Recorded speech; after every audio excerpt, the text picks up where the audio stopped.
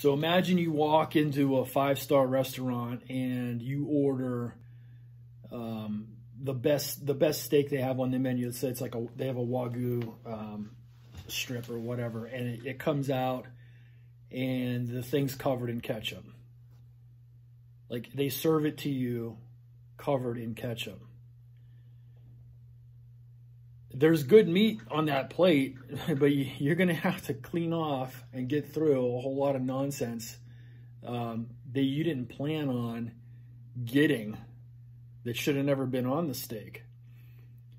It's not much different than uh, martial arts, especially martial arts that teach really good stuff, you know, jujitsu, boxing, kickboxing, MMA, all the, all the stuff that actually works, right?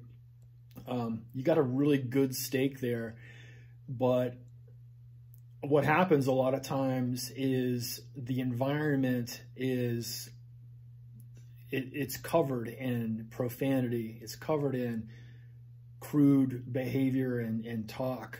Um, there's a lot of uh, there's a lot of negative talk. There's a lot of bashing of people and just uh, just trash talk in general.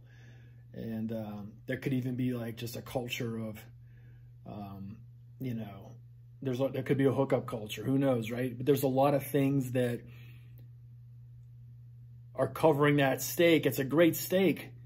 Why are you gonna? Why you got to ruin it with ketchup? You know what I'm saying? Um, it's the same thing with the atmosphere of a martial arts school and an academy. That stuff doesn't need to be there. Why you, why are you going to take away from your training? Why are you going to take away from your program by having all these things going on in the atmosphere that is not going to benefit a single one of your students.